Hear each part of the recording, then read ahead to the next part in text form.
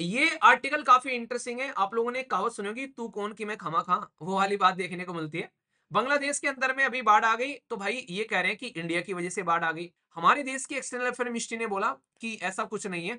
तो दो देशों के रिलेशन जो है, वो खराब होते हुए नज़र आते हैं। बेसिकली दम्बूर डैम है त्रिपुरा के अंदर में। तो उस पर्टिकुलर डैम की वजह से यहाँ पर फ्लड आया।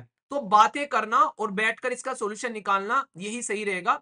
रियल टाइम में अगर आप लोग डेटा है, आप लोग बोलो कि यार बारिश इतनी हो रही है। हमारे देश के अंदर में जो अथॉरिटी इस चीज़ को मैनेज करे, उसके साथ में डिस्कस करो कि पानी इतना आ रहा है यार, थोड़ी देर के लिए इसको मैनेज कर लो। भाई अगर कुछ दिक्कत होती है तो हम लोग तब तक अपना कुछ सोल्यूशन निकालते हैं। इस तरीके से भी तो बातें की जा सकती है ना। ये आर्टिकल काफ़ी इंटरेस्टिंग है। आप लोगों ने कहावत सुनी होगी, तू कौन की मैं खमा खा? वो वाली बात देखने को मिलती है। बांग्लादेश के अंदर में अभी बाढ़ आ गई तो भाई ये कह रहे हैं कि इंडिया की वजह से बाढ़ आ गई। हमारे देश के अंदर में एक डैम है त्रिपुरा, उसकी वजह से बाढ़ आ गई यहाँ पर। बांग्लादेश के अंदर में किसी की जान जा रही है, कह रहे कि इंडिया की वजह से जान जा रही है। बांग्लादेश में बिजली नहीं आ रही है तो इंडिया की वजह से बिजली नहीं आ रही है। बांग्लादेश के अंदर में लोग भुखमरी मर रही है तो इंडिया की वजह से भुखमरी मर रही है। मतलब बांग्लादेश की सरकार जो है, वो अपनी नाकामियों का ठेकरा जो है, भारत के ऊपर फोड़ने के लिए तैयार है आज की डेट में।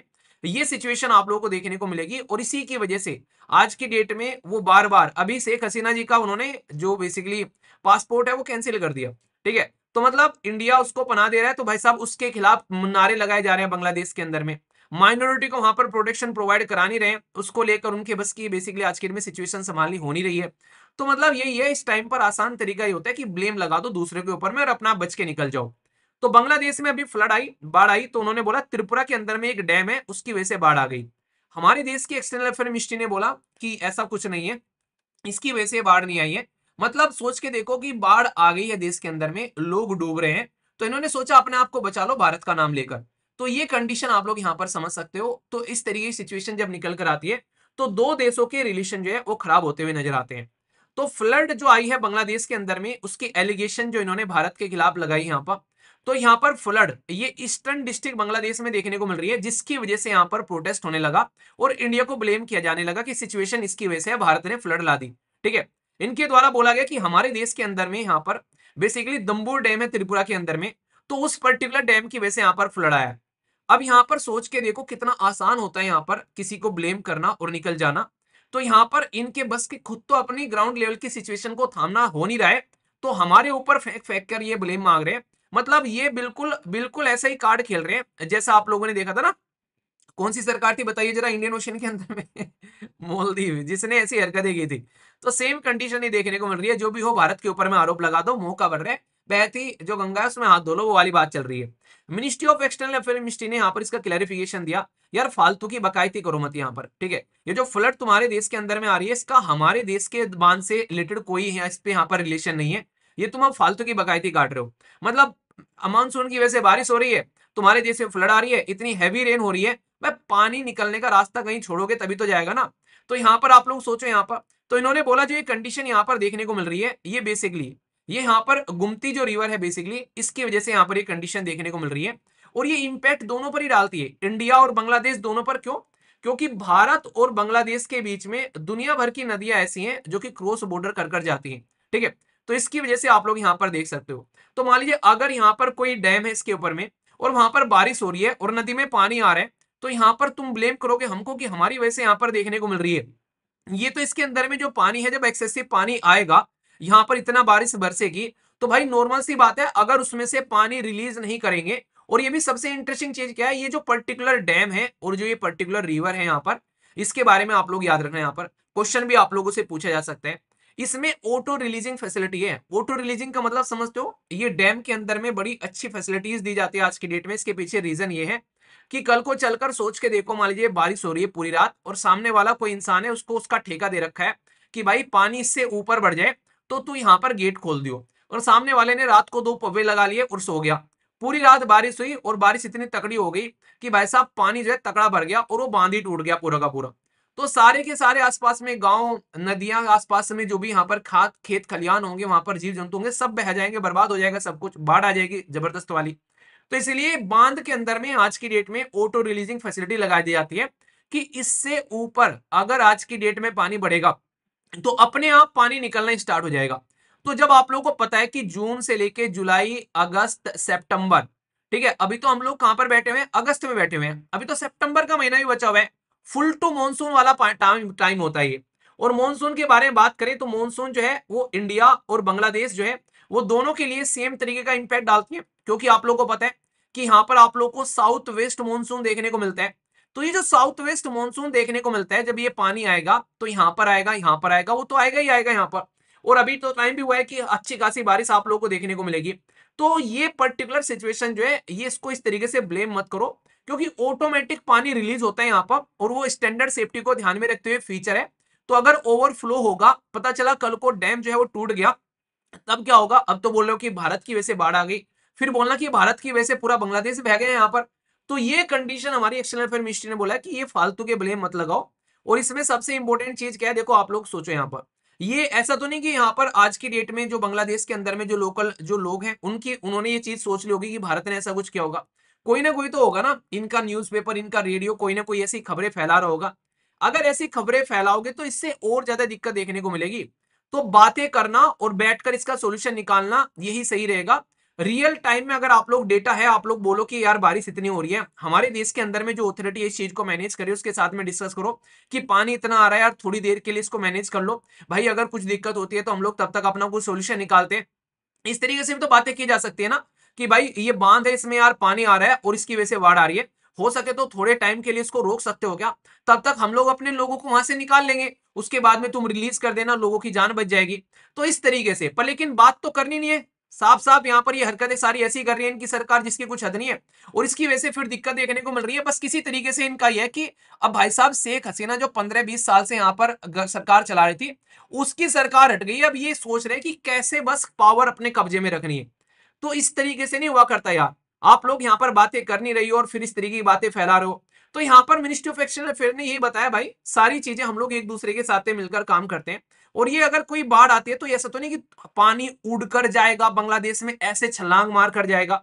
जो अगर बाढ़ आएगी, अगर यहाँ पर किसी पर्टिकुलर रीजन में तो इम्पैक्ट तो भारत के ऊपर ही पड़ेगा ना उसका। तो ऐसा तो नहीं कि वहाँ पर हम लोगों ने पानी को बोला, जा छलांग मार के जा बांग्लादेश से कूद जा वो लंबी कूद का घोड़ा है पानी। तो ये फालतू की बकवास करना छोड़ दो। तो एक्सटर्नल अफेयर मिनिस्टर ये कह रही है यहाँ पर कि जो भी चीज़ें प्रॉपर देखो कि इसकी वजह से क्या क्या दिक्कतें देखने को मिल सकती है। सबसे बड़ी बात क्या यहाँ पर? सिक्योरिटी के कंसर्न होते हैं। आज की डेट में आप लोग देख लो यहाँ पर। इंडियन हाई कमिश्नर जो है आज की डेट में ये परण्य वर्मा जो है, उन्होंने भी कंसर्न बोला इसको लेकर कि यार ये थ्रेट है कहीं ना कहीं इंडिया और बेसिकली बांग्लादेश के बीच में आज के में, जब ऐसी सिचुएशन देखने को मिलती है। क्योंकि बॉर्डर पर दुनिया भर के लोग आज के में, बांग्लादेश में जगह जगह प्रोटेस्ट चल रहे हैं एंटी इंडिया सेंटीमेंट्स यहाँ पर सारी जगह देखने को मिल रहे हैं। अब फ्लड को लेकर और कंडीशन ऐसी खराब हो जा रही है यहाँ पर, पहले से वो कह रहे हैं कि हमारे देश की दुश्मन जो है, उसको इंडिया ने पनाह दे रखी है। तुम यहाँ पर और रायता फैला दो, ऐसी ऐसी खबरें फैलाकर यहाँ पर। इसकी वजह से और दिक्कतें देखने को मिलेगी यहाँ पर। तो ये सही नहीं है, क्योंकि कोई एक नदी थोड़ी ना यार इंडिया और बांग्लादेश के बीच में। चौवन नदियाँ क्रॉस करती हैं दोनों की बाउंड्री को यहाँ पर। तो किस किस को मैनेज कर लोगे? बारिश तो आएगी आएगी। ऊपर तरपाल लगा लोगे, क्योंकि बारिश ना पड़े भाई साहब, सारी बारिश जो है वो इंडियन ओशन में चली जाए। ऊपर टेंट लगा लो भाई साहब पूरे देश के ऊपर में। तो ये इस तरीके की बकवास करने का कोई मतलब बनता नहीं है। बात यह है कि बैठकर रिवर को मैनेज कैसे करना है, ये देखना पड़ेगा आप लोगों को। कैसे रिजोल्व करना है अगर कोई इस तरीके की दिक्कत निकल कर आती है। तो दोनों बैठोगे, उनकी टेक्निकलिटीज देखोगे, उन पर डिस्कशन करोगे कंसल्ट करोगे, तभी तो सोल्यूशन निकल कर आएगा। बस चुटट फेंक दो भाई साहब लोगों के बीच में कि बांग्लादेश में बाढ़ आ गई इंडिया की वजह से। मर जाएँगे सारे के सारे। अब और अब तो आ नहीं रही है। अब तो ये करना चाहिए कि थोड़ा सा और पानी छोड़ दो। अभी घुटनों तक आ रहा है, थोड़ा गले तक पहुँचे, और समझ में आए थोड़ी सी बात। मतलब सोल्यूशन निकालने नहीं फालतू की बातें करनी है। तो ये पॉलिटिकल कॉन्टेक्स्ट में ज़्यादा चीज़ें चल रही है ग्राउंड लेवल पर चीज़ों को संभालने से तो गए। वहाँ पर आज की डेट में भी वो सिचुएशन को हैंडल नहीं कर पा रहे माइनॉरिटी पर अटैक हो रहे हैं। आज की डेट में भी कंडीशन देखने को मिलेगी वहाँ पर। बॉर्डर पर दुनिया भर की लोग यहाँ पर खड़े हुए हैं आज की डेट में। लोगों को प्रॉपर फ़ूड प्रोवाइड करा नहीं रहे इन्फ्लेशन दुनिया भर का है। पॉलिटिकल स्टेबिलिटी है नहीं है। आज भी लोग पूरे देश के अंदर में लो एंड ऑर्डर जो है वो खराब हो रखा है। तो सिचुएशन संभल नहीं रही है। तो भाई साहब, आसान तरीका है। कि दूसरे के खिलाफ जाकर आरोप लगा दो, क्योंकि खुद की गवर्नमेंट के खिलाफ अगर प्रोटेस्ट होगा तो भाई साहब यहाँ पर नेगेटिव इमेज बनेगी। तो भारत पर ब्लेम डालते रहो और भाई साहब अपनी रोटियाँ सेकते रहो। तो दोनों चीज़ें ऐसी देखने को मिलती हैं। अब चाहे ऑनलाइन बात कर लो, चाहे सड़कों में बात कर लो, जो भी प्रोटेस्ट चल रहे हैं, इसकी वजह से यहाँ पर कहीं ना कहीं दिक्कत क्या आ रही है निकलकर? अब इंडिया ने ह्यूज इन्वेस्टमेंट कर रखा है बांग्लादेश के अंदर, में आप लोगों को बता दें।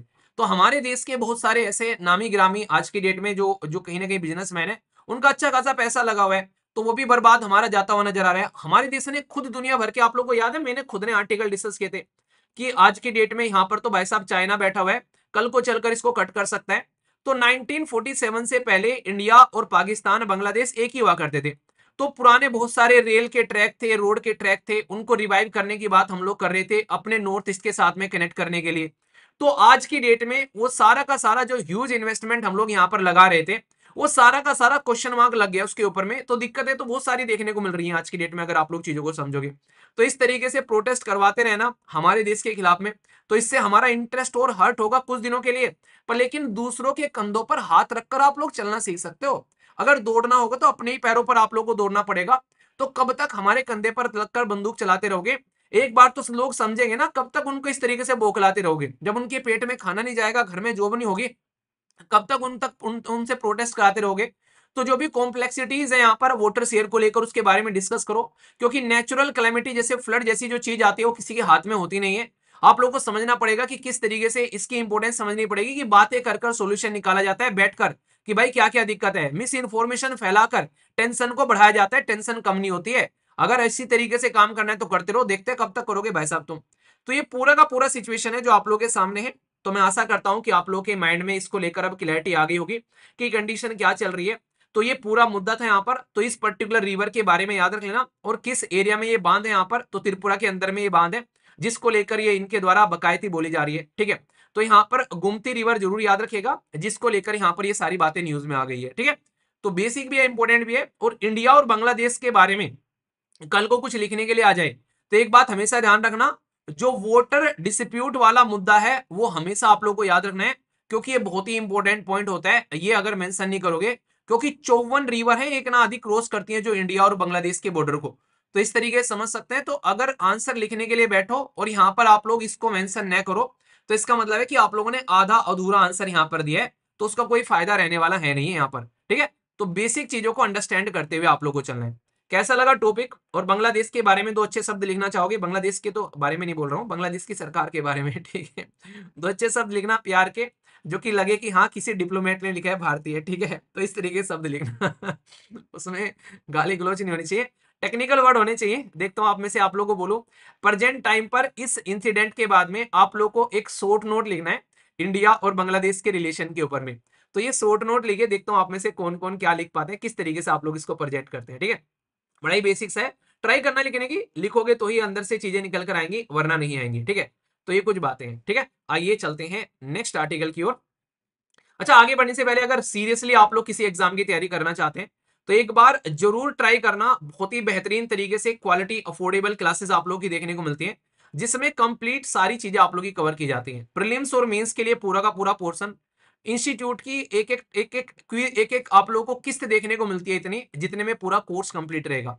सी सेट का कोर्स नहीं मिलता, इतने में जितने में आप लोगों को पूरा कोर्स है इंग्लिश। और इसी के साथ में हिंदी, जो पूरे देश में कोई नहीं कवर कराता है, वो भी आप लोगों को देखने को मिलेगी। टेस्ट सीरीज़ हर वीक होती है इवन सब्जेक्ट वाइज भी आप लोगों को देखने को मिलती है। सी सेट की टेस्ट सीरीज़ अलग से होती है बाइलिंगल है यहाँ पर एनसीआरटी e के साथ में फ्री में है पूरा का पूरा कोर्स ताकि आप लोग फाउंडेशन तैयार कर सको। आंसर राइटिंग में आप लोगों को देखने को मिलेगी। दुनिया भर के मॉडल आंसर मिलेंगे। सेम कंडीशन आप लोग यहाँ पर अगर स्टेट पीसेस की तैयारी कर रहे हो, बिहार, उत्तर प्रदेश, उड़ीसा, हरियाणा, मध्य प्रदेश, उत्तराखंड, हिमाचल प्रदेश तो सात स्टेट पीसेस की क्लासेस चल रही हैं और ये सारी क्लासेस 2025 के लिए हैं। तो अगर अभी से ही चीज़ों को सीरियस लेकर चलोगे तो आप लोग चीज़ों को एंजॉय कर सकते हैं। क्वालिटी में कोई कॉम्प्रोमाइज नहीं है। पर लेकिन अफोर्डेबल है तो ये मत समझ लेना, सस्ता है तो इसको नैनो के साथ में कंपेयर मत कर लेना, ठीक है? क्योंकि क्वालिटी है, पर लेकिन इसी के साथ में आप लोग को अफोर्डेबिलिटी भी देखने को मिलेगी और इंक्लूडिंग टेस्ट सीरीज़ भी इसके साथ में ये आप लोग ध्यान रखना। लाइव और रिकॉर्डेड लेक्चर दोनों है, हिंदी और इंग्लिश में, अच्छे से एंजॉय कर सकते हैं, बस छोटा सा काम करने एप्लीकेशन पर जाओ प्ले स्टोर पर जाओ एप्लीकेशन डाउनलोड करो, एक छोटा सा यहाँ पर आप लोग की बेसिकली छोटी सी एक डिटेल भरनी होती है, फिर जाकर अपनी क्लासेस को एंजॉय करो, या फिर study lover V dot in website का इस्तेमाल कर सकते हो। 4.9 की रेटिंग है एप्लीकेशन पर तो अंदाज़ा लगा सकते हैं कि कैसी चीज़ें प्रोवाइड कराई जा रही है। तो अच्छे से एंजॉय करिए और आगे बढ़िए।